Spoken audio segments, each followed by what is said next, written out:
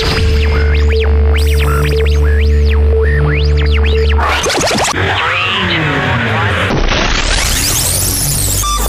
Welcome to Throughout All Ages 1530 Apologetics, where the conversation always gives you a foundation that is built on biblical principles, so you can intellectually and critically learn to weigh out decisions about life with truth, facts, contradictions, and the reality we live in, and history. Host Joe Gaona covers topics like apologetics, worldviews, contemporary culture, and the Word of God to help you articulate a defense for how you live your Christian life.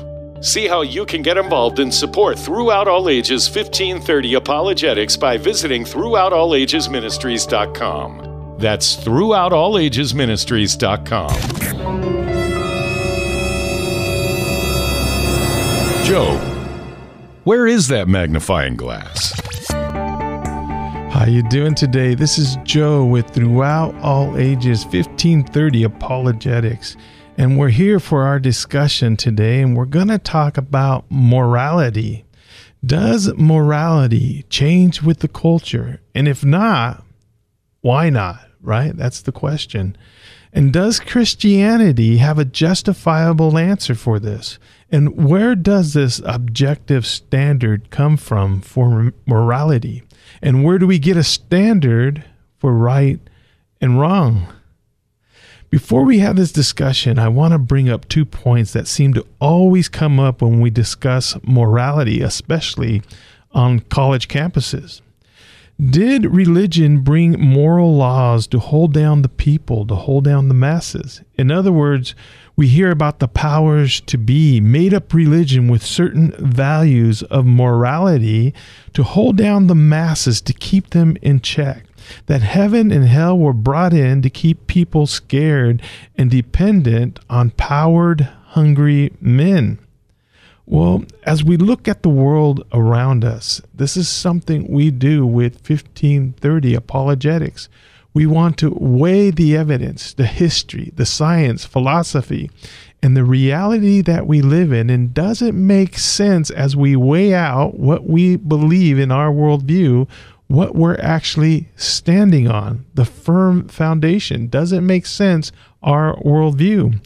When we talk about morality, we look around us. Many of the students, many people look around and we see morality changing not only with the culture, but we see it changing within the church. So, does morality change with the culture? And if not, why not?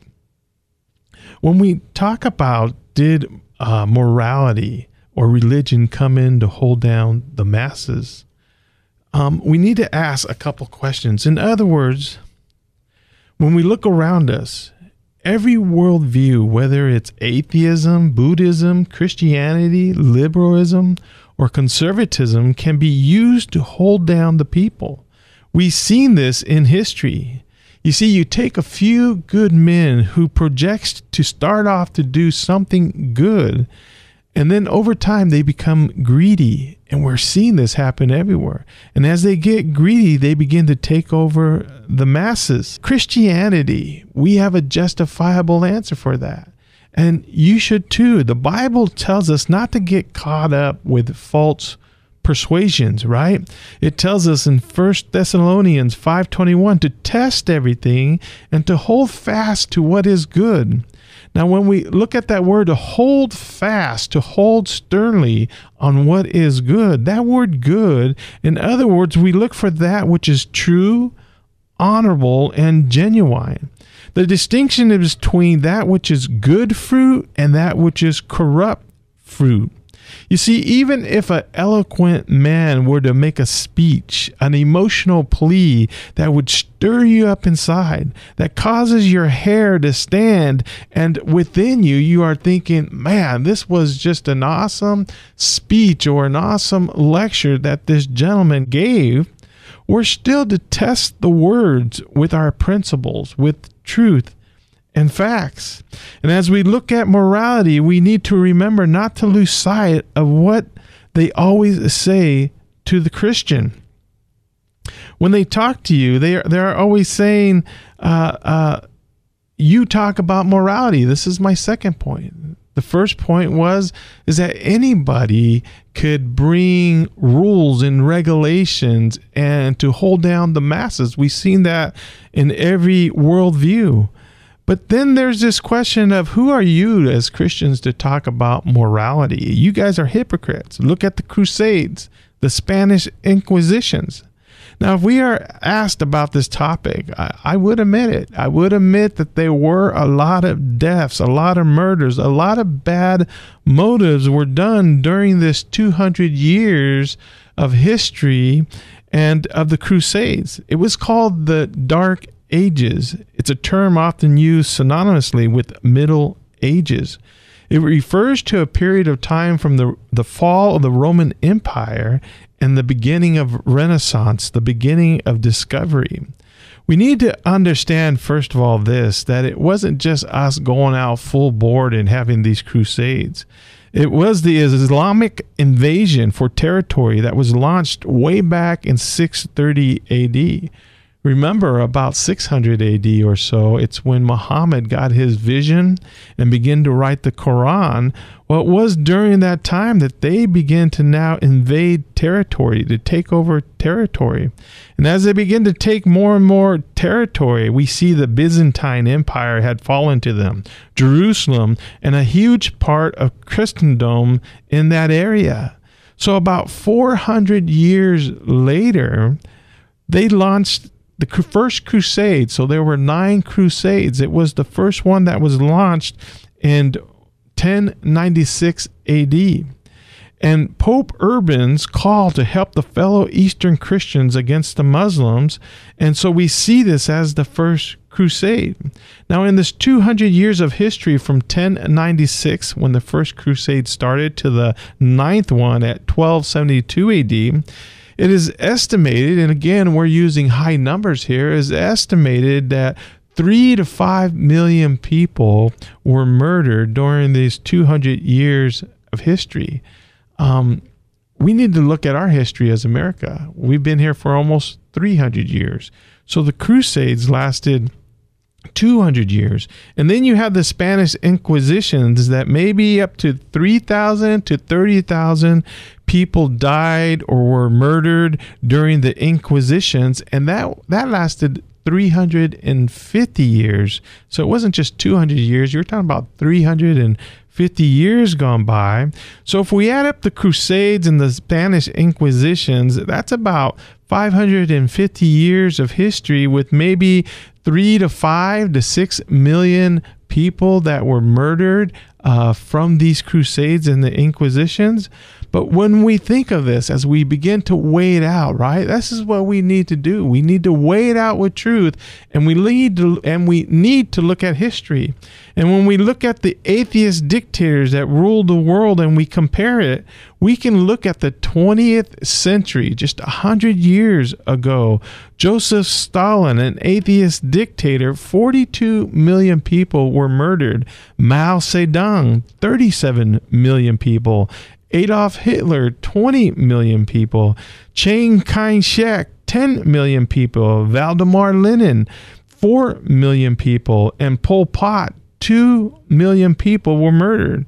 So there was more shed in the 20th century by atheistic dictators than the last previous 19 centuries put together. So we need to weigh it out. That is our answer when they come to us about why so much killings with the crusade? Well, when we average it out with the atheistic dictators, it wasn't about religion. Uh, when we talk about science and evolution, they say that mankind came from a common descent, from a single ancestry on earth by undirected mutations and natural selection. Now, Richard Dawkins, a famous atheist, refers to this as we come from selfish genes, blind physical force, no design, no purpose, and no reason. So you need to think about that when you're standing on this worldview of um, atheism or of naturalism. Now, when we think about science, science cannot prescribe moral values of right or wrong. And it gets into a problem when it starts moving from what is to what ought to be. It's here the naturalist, the atheist world view is clashing with contradictions because there is no teleological or no telescope for unguided mutations and natural selection. Science and evolution can't explain the origin of right and wrong. Science can tell us how things work, but it can never tell us how we ought to behave. It can only account for pre programmed behavior, but not moral choices.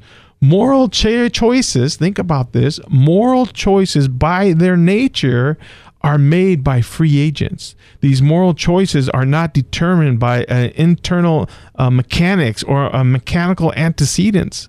Morality dictates what future behavior ought to be. When we say you should tell the truth or you shouldn't rape and murder, this is a standard given that science cannot determine. Darwinism can only attempt to describe why humans acted in a certain way in the past, not if it was wrong or right. So the difference between morality compared to well-being like Sam Harris would say or the difference between a standard and a standard of good and utilitarianism, well we're going to talk about that that the compare between morality and well-being and we're going to see that there is subjectivism when we talk about the naturalists in real life scenarios. This is Joe I hope you be a part of the second part as we talk about morality. Does morality change with the culture? If not, do we have a justifiable answer? This is Joe with 1530 Apologetics. Don't go away because there is much more to come with Throughout All Ages 1530 Apologetics. Seven out of ten students growing up in a Christian home, they actually walk away from their faith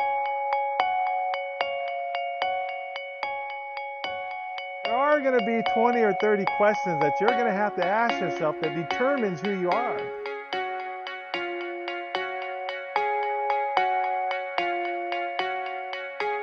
Whether you're going to be a Christian, an atheist, a skeptic, an agnostic, a Buddhist, a Muslim,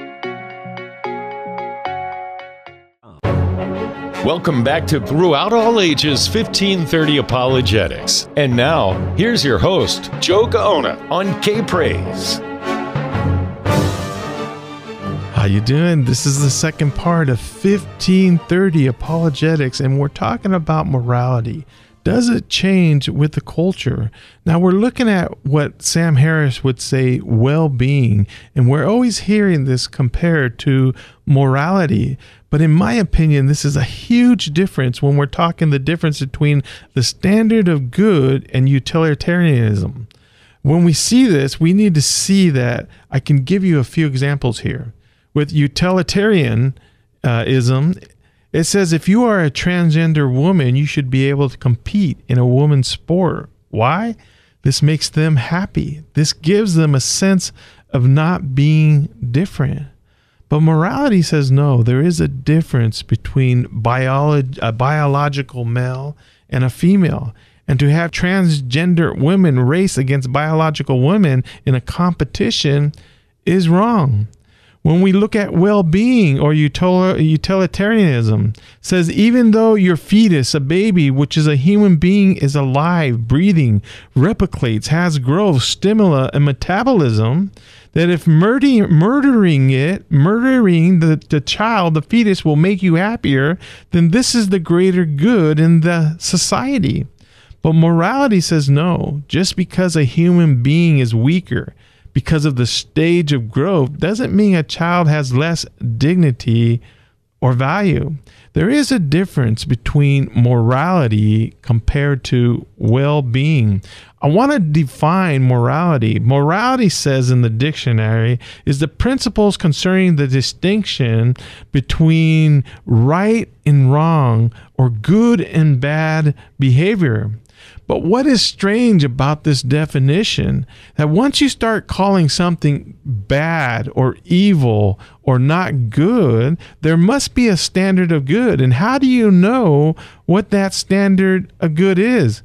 In other words, if I tell you that they found aliens up in Mars the other day and it was in the newspaper or it was on the web telling you they found aliens and I said, "Hey, is that the same type of aliens that are that they found in 1968?" And you would look at me and you would say, "Well, how would I know? How could I know if it was the same type of aliens. Unless you actually went over there and saw those aliens and saw what they look like, then you would have a description. You would have something to look at to know whether it looked like those aliens in Mars looked like the ones compared to 1960. So, unless there's a standard to look at, how could we possibly know? Therefore, this is the same for moral values. When we look at morality, you have to say, if you say something is bad, you must have a standard for goodness. And this is what C.S. Lewis was talking about. How would you ever know a stick was crooked? And first, if in first you never saw, or until you saw what a straight stick looked like, you would never know that it was a bent stick. And so it is with morality. You know, Jeffrey Dahmer is an infamous serial killer, an atheist that was sentenced to 900 years in prison. He brutally killed 17 men and boys, dismembering them, stirring their parts, and indulging in, in cannibalism and necrophilia. And this is something that he said. Jeffrey Dahmer says if a person doesn't think that there is a God to be accountable to, then what's the point of trying to modify your behavior to keep it within acceptable ranges, right? And you know, Dahmer is totally right on this. If we are just chemicals in motion, if we are just animals, then why are we trying to modify some type of behavior to be acceptable? We never do that with any other animal. We don't look at a lion that's in the um, that's looking at a gazelle in the grasslands and he sees a gazelle and he just decides just because he wants to it's something that he wants to do he goes and pounces on a gazelle tears them apart and then leaves them there and walks off, we don't look at that lion and we say, oh, that was a bad lion. We got to teach him how to have some dignity, some moral, moral values in his life. Let's put him in prison. Let's uh, let's get him to act and redirect his behavior, and then we'll let him back out in the wild. We we never see that happening. No, we actually say this is their life, this is the way they live. The strongest of the fittest survive. Let them do what they want. Certainly, if you're just an animal, who is going to be able to say what is right and what is wrong for a standard that we live in? But when we talk about Christianity, with Christianity, it's love with a standard. You see, love without a standard is no love at all. When I uh, when I knew this girl who was going to get married, and she called up her uh, mom and she said, Mom, I only known this guy for six months, but I know we're right for each other and I want to get married to him. We are going to get married. And the mom said, Hey, maybe you should take a little more time and figure, make sure things are right. She goes, No, I know this is the right one. Well, they got married and a few months went down the line and she found out that Dan was just going out with all kinds of women. And he she came to Dan and said, Dan, what's what are you doing? We're married. Why are you going out with all these women? And you know what Dan told her? Dan said, You know what? Ever since I was born, I was born that way. I love women.